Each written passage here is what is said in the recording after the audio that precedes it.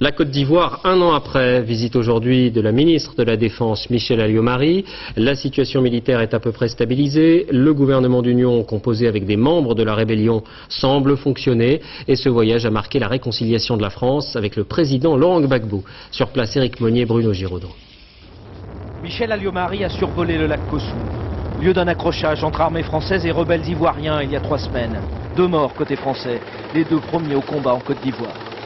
Un incident qui ne remet pas en cause l'engagement militaire de la France ici. L'opération Licorne continuera au moins jusqu'à l'élection présidentielle de 2005, a répété la ministre française de la Défense aux populations venues lui exprimer leur reconnaissance.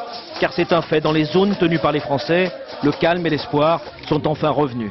Pour le reste du pays, c'est une autre histoire. Le Nord, notamment, attend toujours le retour de l'administration ivoirienne, chassée par la guerre. Il n'est pas question que l'armée française se substitue à des préfets, à des instituteurs, euh, à des médecins.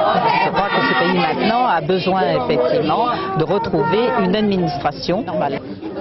Ce matin, le sourire du président ivoirien trahissait le net réchauffement des relations franco-ivoiriennes.